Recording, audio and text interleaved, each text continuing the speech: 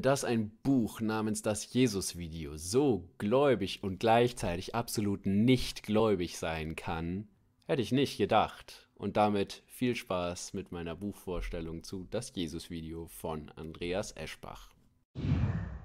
Ja, liebe Leute, herzlich willkommen zu diesem neuen Video. Mein Name ist Tim, ich lade auf diesem Kanal Buchvorstellungen hoch, wie man sich denken kann, aber auch eigene Kurzgeschichten in Hörbuchfassung. Wenn dich das also interessiert, dann klick doch gern auf Abonnieren.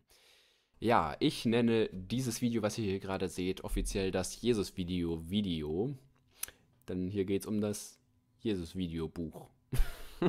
Gut, in diesem Buch geht es um eine Ausgrabungsstätte in Israel, bei der ein 2000 Jahre altes Grab geöffnet wurde. Man hat auch festgestellt, das wurde ganz sicher seit 2000 Jahren nicht geöffnet.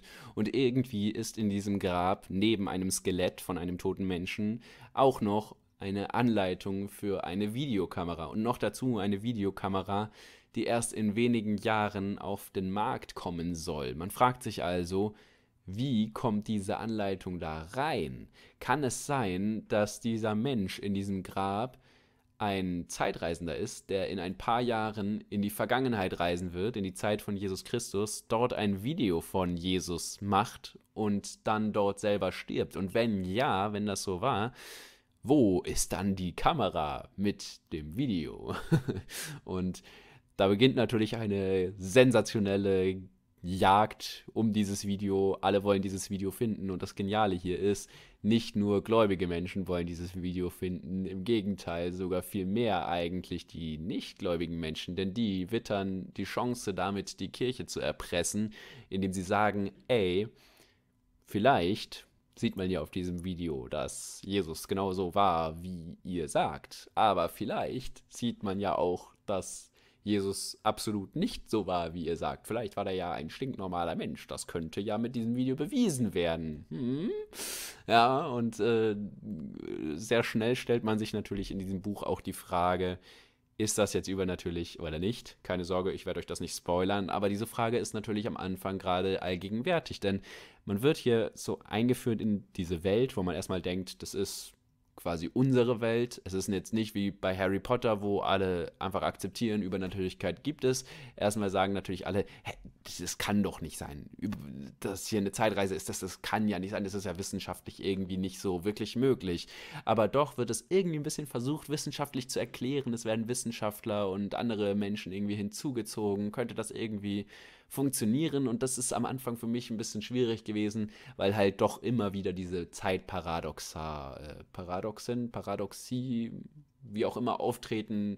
Äh, ich sag nur Großvater-Paradoxon, was ist, wenn ich in der Vergangenheit etwas verändere und dann gibt es mich gar nicht oder ich habe gar keinen Anlass mehr, überhaupt in der Zeit zu reisen, so allerhand solches Zeug, wo man sich denkt, so, hört doch auf, darüber nachzudenken, es ist nun mal nicht möglich so.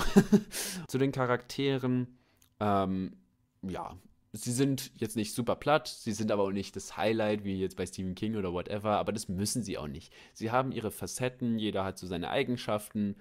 Das taugt mir und das reicht und sie sind nicht das, warum man das Buch liest. Die, die Gründe, warum man das Buch liest, ist zum Beispiel, weil unglaublich gut damit einem Mythos gespielt wird. Ein Mythos über Jesus Christus, der nun mal existent ist. Also egal ob du gläubig bist oder nicht, diesen Mythos, diese Legende gibt es. Und es wird super gut mit der Fantasie, aber auch mit der Sensationsgier von Menschen und von der lesenden Person gespielt. Was auch interessant ist, Glaube oder Nicht-Glaube, das ist hier überhaupt keine Frage, denn dieses Buch ist absolut nicht belehrend. Man liest dieses Buch nicht vordergründig deswegen, weil man jetzt äh, die Frage klären will, gab es einen Mann namens Jesus, beziehungsweise wer war dieser Mann oder gibt es Gott oder was auch immer. Das ist weder am Anfang noch zwischendurch noch am Ende so. Und das fand ich, fand ich richtig, richtig gut. Das Ende hat mich einfach umgehauen. Das hat einen so genialen Abschluss für diese krasse Jagd nach so einem Video gestellt. Ich habe mich die ganze Zeit über gefragt, wie wird es jetzt wohl ausgehen?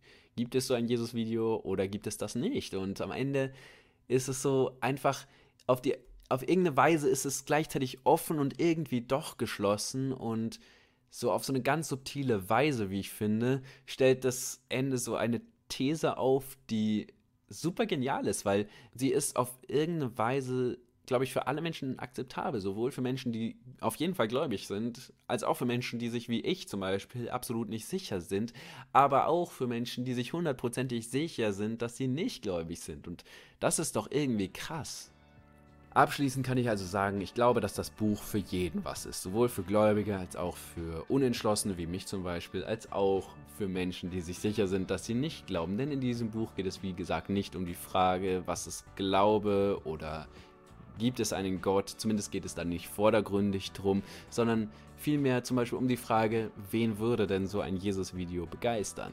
Sind das überhaupt die gläubigen Menschen oder würde es nicht die Ungläubigen viel mehr begeistern?